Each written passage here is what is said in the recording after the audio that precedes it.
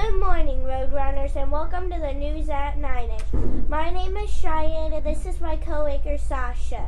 Today is Monday, April 3rd, 23rd, 2018, and it is day two. If everyone could stop what they are doing and stand for the Pledge of Allegiance and the Coles Pledge. I pledge allegiance to the flag of the United States of America and to the republic for which it stands, one nation, under God, indivisible, with liberty and justice for all. Now for the Coles Pledge. I will act in such a way that I will be proud of myself, and others will be proud of me too. I came to school to learn, and I will learn, and I will have a great day. We are Roadrunners, and we are bully free. Please be seated for the moment of silence.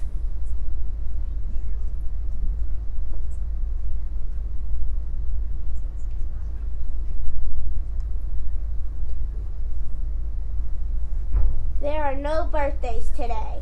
Now a word from Kirsten and Emily. Have you heard about the new spirit sticks? Yeah, the 200 new ones. Yeah, I know. There's like ice cream There's like sports. And so many more. Just a dollar each. And there's the green one that says Coles Elementary. That's just for four dollars. Come on down to Roadie Mart. From 9 to 9.15, Tuesdays, Wednesdays, and Thursdays. Thank you. Now Let's sit back for a moment and enjoy a musical selection from Jesse Gill. So, Jesse, what instrument do you play? I play the violin. How long have you been playing? Um, only a few months actually. What song are you playing? I'm playing Ode to Joy.